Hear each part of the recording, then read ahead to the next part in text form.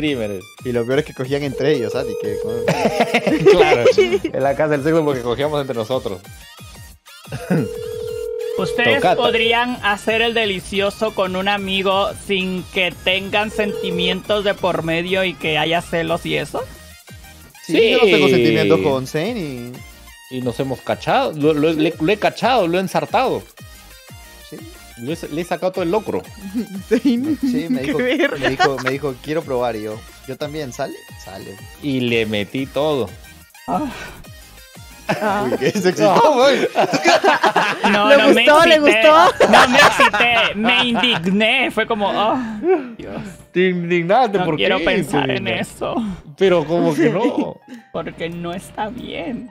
No está qué bien, no pero está ¿por qué bien? está Pues bien? porque Dios creó al hombre y a la mujer. Ojalá, Suriel. No está bien eso. Eh, no es de Dios eso, eh. Oye, estoy llamando a mi roommate y no me contesta. Ahora es un burro. Está en mi chat.